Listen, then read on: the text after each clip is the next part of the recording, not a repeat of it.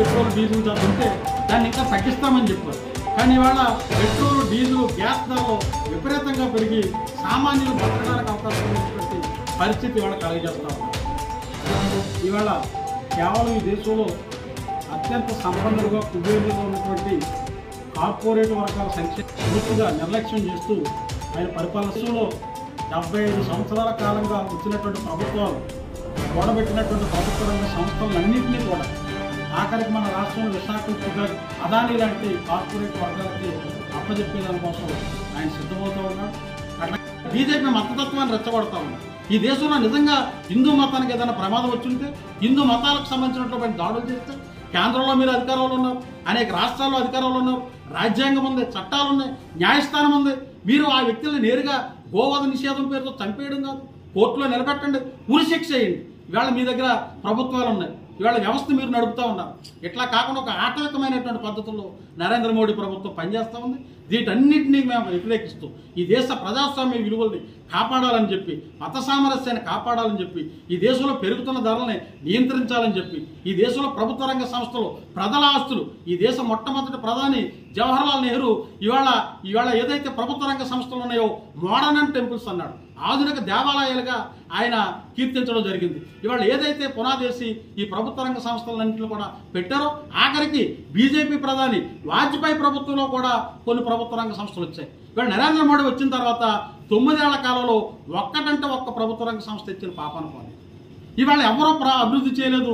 నరేంద్ర మోడీ వచ్చిన తర్వాతే ఈ దేశానికి ప్రజాస్వామ్యం వచ్చింది ఈ దేశానికి స్వాతంత్రం వచ్చింది ఈ దేశం అభివృద్ధి అవుతుందని చెప్తూ ఉన్నాం ఈవేళ దాదాపుగా ఆరు లక్షల కోట్ల రూపాయలు పైబడి ప్రభుత్వ రంగ సంస్థల్ని అమ్ముతా ఉంటే ఈ ప్రభుత్వ రంగ సంస్థలన్నింటినీ ఎవరు పెట్టారనేటువంటి కనీసమైనటువంటి ఇంకి జ్ఞానం కూడా లేకుండా ఇవాళ ఈ సంస్థలన్నింటిలో కూడా ప్రజల ఆస్తులన్నింటిలో కూడా అత్యంత కారు చౌకగా అదానికి అంబానీకి అప్పజెప్తా ఉన్నాడు. ఈ ప్రభుత్వ రంగ సంస్థల్ని ప్రజల ఆస్తుల్ని కాపాడాలనేటువంటి దాంతో మేము పెద్ద ఎత్తున చైతన్య యాత్రలు ప్రచార సభలు నిర్వహిస్తా ఉన్నాం. ఈ సభలు విజయవంతం చేయాల్సిందిగా ప్రజల వాస్తవాలు తెలుసుకోవాలని చెప్పి నిరంకుశంగా ప్రతిపక్షాల మీద ప్రతిపక్ష నాయకుల మీద దాడులు చేస్తాను.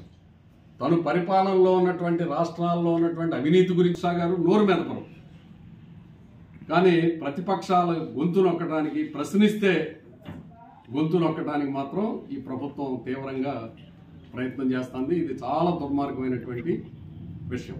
ఇప్పుడు ఉదాహరణకి అనేక రాష్ట్రాల్లో ప్రతిపక్ష నాయకులు హక్కుల కార్యకర్తలు గొంతెత్తి అడుగుతున్నటువంటి వాళ్ళ మీద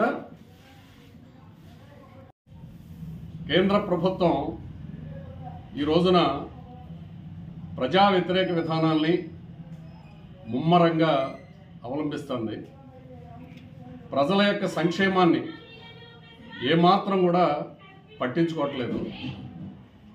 కార్పొరేట్లకి అనుకూలమైనటువంటి విధానాలు పేదలకి వ్యతిరేకమైనటువంటి విధానాల్ని అవలంబిస్తుంది కేంద్రంలో ఉన్నటువంటి బీజేపీ నరేంద్ర మోడీ ప్రభుత్వం. సాక్షాత్తు చూసాం మొన్న కేంద్ర బడ్జెట్లో కార్పొరేట్లకి సంపన్నులకి లక్షల కోట్ల రాయితీల వర్షం కురిపించారు.